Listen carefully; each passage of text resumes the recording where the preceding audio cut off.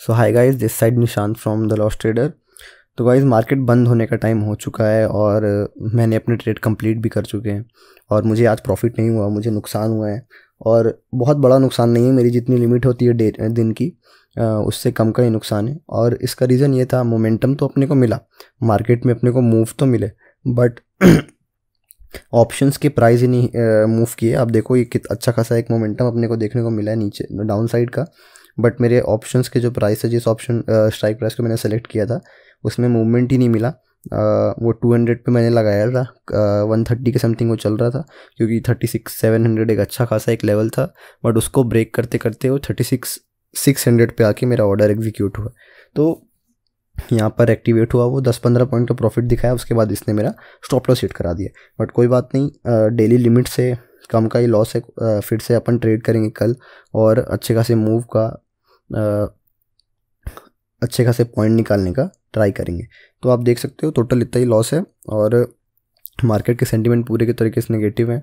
कहीं से कुछ भी आज सेंसेक्स वैसे भी, अगर आप देखोगे सेंसेक्स तो समथिंग दो परसेंट से गिर चुका है और तो इसलिए काफ़ी ज़्यादा गिरावट आई है। सेंटीमेंट्स भी नेगेटिव हैं। यूक्रेन का भी दिक्कत चल रहा है प्लस इन्फ्लेशन के भी रेट हैं ऑयल प्राइस के हाइक हैं।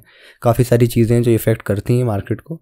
इसलिए ही अपने को ये फॉल देखने को मिल रहा है। तो ठीक है इस कोई बात नहीं।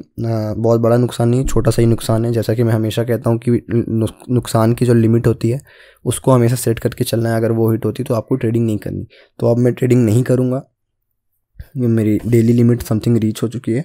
और अब मैं वेट करूँगा कल का। कल देखते हैं कैसे मूव्स होंगे मार्केट के उस हिसाब से अपन ट्रेड लेंगे और ये भी समझेंगे कि आ, मैं आपको बता दूँ आज मेरा ये नुकसान होना चाहिए था नहीं वैसे मोमेंटम कैच किया जा सकता था क्योंकि अगर मैं दूसरी स्ट्राइक प्राइस में ट्रेड करता तो हो सकता है मुझे अच्छा खासा प्रॉफिट निकल जाता। तो ये भी एक चीज़ है जैसे कि आज मंडे है तो मंडे के हिसाब से आ, आपको सेलेक्ट करना पड़ेगा जैसे कि आज सबसे ज़्यादा प्रीमियम्स अवेलेबल हैं। सब एक्सपायरी से जितना दूर जितने दिन ज़्यादा बचे हुए हैं, उस उस पर सबसे ज़्यादा प्रीमियम्स अवेलेबल होते हैं। तो मैंने जो भी स्ट्राइक सेलेक्ट किया उसमें प्रीमियम बहुत ज़्यादा थे। दो एक बजे तक वो पूरे मेल्ट भी हुए बट उस पर कोई मूवमेंट नहीं आया। बट कोई बात नहीं, छोटा सा नुकसान है। कल देखते हैं, कल भी मार्केट खुलेगी। आज ही बहुत बड़ा नुकसान नहीं लेना है। कल भी मार्केट खुलेगी। कल अपन ट्रेड करेंगे। ठीक है इस मिलते हैं एनालिसिस वीडियो में। Thank you